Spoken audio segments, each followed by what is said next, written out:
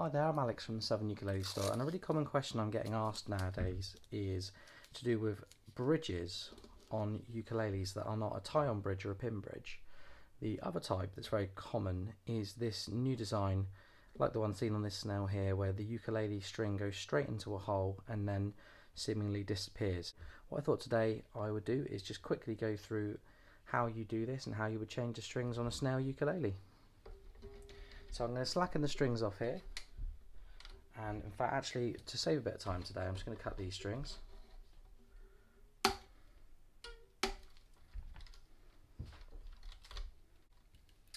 And then we're left here with the four strings. So let me feed these through. And the only way to do this really is just to feed the string straight into the body until you can reach the end of the string. And you'll see that two of these strings are gone already the other two are a bit harder to reach.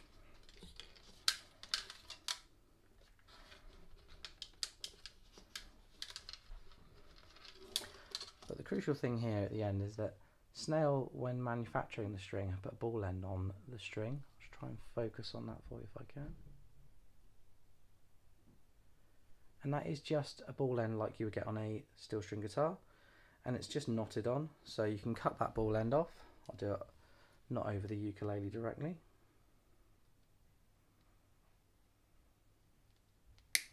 But the ball end cut off. And we're going to save that for the next string we put on. But you don't actually need the ball end to do this job. You can do this just by tying a knot in the string. In fact, that's what I'm going to do. So if you're not going to use the ball end method, as I've decided not to do today, you would take the end of the string, like so, put it into the ukulele, and feed it through considerably until you can pull it out of the sound hole with your finger. And then what I would do is have the string kind of half in half and half so that it's 50-50 out of the instrument and 50-50 the other side. And then just leave that for a moment and fit the other strings third here. Just put that in the hole. Now, a neat trick and something that makes this a little bit easier is to turn the string from the outside of your finger like you're un undoing a bottle, something like that, and the actual natural curve in the string will find the sound hole. I think that's probably the thing that makes people think this is a harder job. And it's the kind of, it's one of those silly tricks. Until you do it the first time, you'd never think of it. But this, this string has a natural curve in it. So if you see as I turn it, it will loop. So if I start with the direction I mean to use when I feed it through the hole,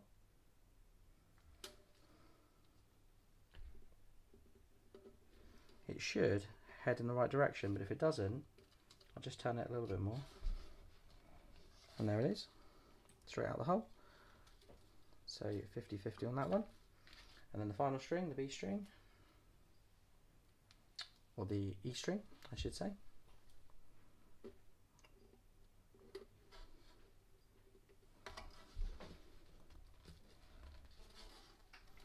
Just there, like that. So all of these strings are now 50-50 in the hole. So the final step now is tying the knots. I had a little interruption there. I'm taking up all the workbench space. So this bit does get a bit confusing when you're doing four at the same time. I personally would normally just do one, but let's find the end of the knot for my the end of the string for my G. So I've got that now. And you would need to tie a double knot into the string. If you've got the ball end, that's the point to put it in. And then once you've got that first knot, I just do another one. Doesn't need to be pretty because it's not going to be on show. Once you've got a nice big knot on there, pull the string through and that's good. do the same thing again on the C. So as I'm losing these, you'll notice I'm just pulling on a bit on the string from both ends till I find them. So we do that double knot again.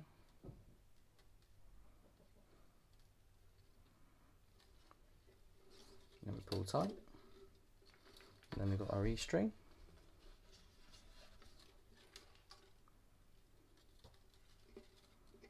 It's a little bit fiddly, but after two or three times of doing this, I, you actually might find it quite relaxing like I do. Okay, so I've got my double knot there.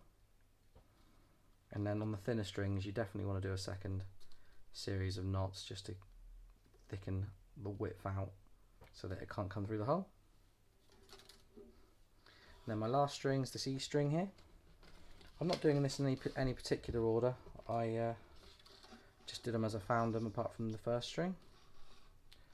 Okay, tie that double knot.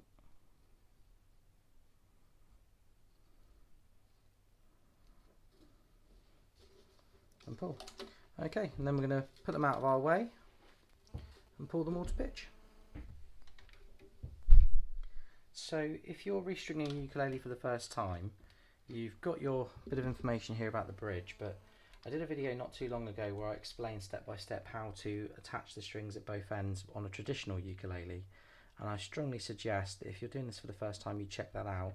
I am kind of fast forwarding through today because the main question anyone watching this video should have is how you do this bit here. Okay, so as my strings are getting up to pitch now, I'm just going to cut some of these wires or these strings at the top I should say so I'll try and leave a little bit at the edge and then clean it up at the very end because if you do do something wrong along the way you need as much string as you can to rectify the problem and you can very quickly waste and have to throw away a string for silly reasons and I have done that countless times over the years. Okay, let's tune this one up to pitch and we'll see how we go. Okay, so the ukulele is in tune now. And we'll take this tape off very carefully. You don't want to leave masking tape on too long or you will get a problem. But if you leave it on for an hour or so, it should be absolutely fine. Yes. There you go. Perfectly in tune. Looks just as clean as it did at the beginning there.